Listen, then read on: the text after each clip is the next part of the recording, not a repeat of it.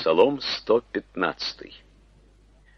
Я веровал и потому говорил, я сильно сокрушен. Я сказал в опрометчивости моей, всякий человек — ложь. Что воздам Господу за все благодеяния Его ко мне? Чашу спасения приму и имя Господне призову. Обеты мои воздам Господу пред всем народом Его. Дорога в очах Господних смерть святых Его.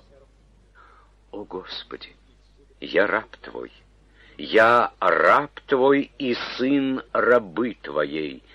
Ты разрешил узы мои.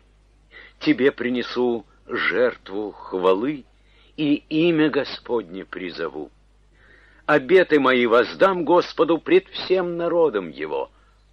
Во дворах дома Господня, посреди тебя, Иерусалим.